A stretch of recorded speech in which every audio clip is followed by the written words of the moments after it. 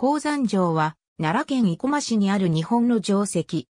鉱山城は奈良県生駒市の北部、黒天地の南に位置する標高217メートル、飛行40メートルの山城である。戦国時代の大和の国人、鷹山氏の居城であり、大和国と河内国の国境に位置していた。城は3つの車から構成されており、2006年、文化財保護の観点から移行を避けるような形で、ハイキング道が設置された。鷹山城のある大和国天下郡高山荘は、大和の軍勢が北河内に展開する際に通過したり、また奈良から京都へ向かう層が、山城国相良軍に抜けるためにたびたび通るなどする、交通の要衝であった。この地を抑える国人、鷹山氏は、鷹山城を居城としていたが、城の築城時期は不明である。源頼光の流れを受ける、ともされる鷹山氏は、応永27年に高山荘の月食を得ていることが確認できる。下吉4年には高山奥、来広氏の名が見え、来広氏は、幸福寺一条院の幹部首都となっている。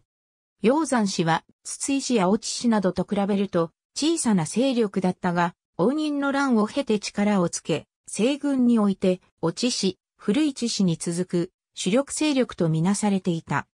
そのためか応仁の乱の収束する文明9年11月、西軍の総大将だった足利義美は、美濃への下国前、一時期鷹山を御座所とした。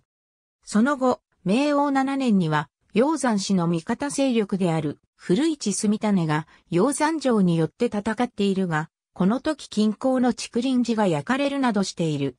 なお、鷹山城の存在が確実に見えるのは、これが最初である。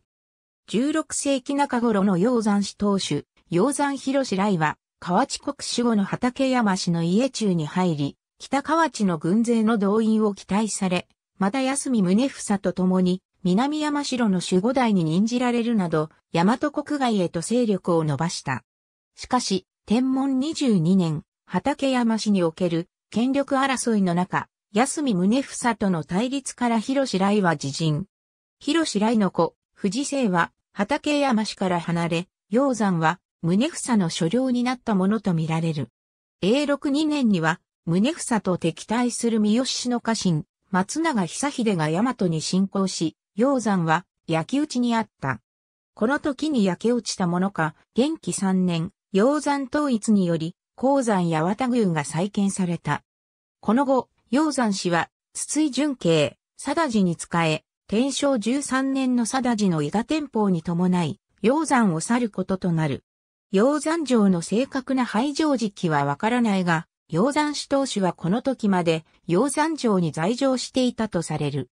鉱山城は標高217メートル、飛行40メートルの丘陵上にある山城で、南北に伸びる尾根に沿って約200メートルにわたり主要な車が連なっている。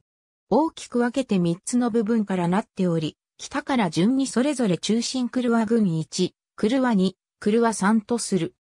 中心車軍1車2車3鉱山城のこの構造は、明王7年の古市市の入場の際、臨時の駐屯地として形作られたものである可能性がある。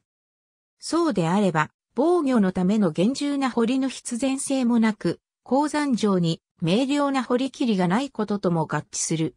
また、同盟的な軍勢による築城は、主角中心の急進性を求めた構造でなく、車が分立的に集合する横並びの構造となる。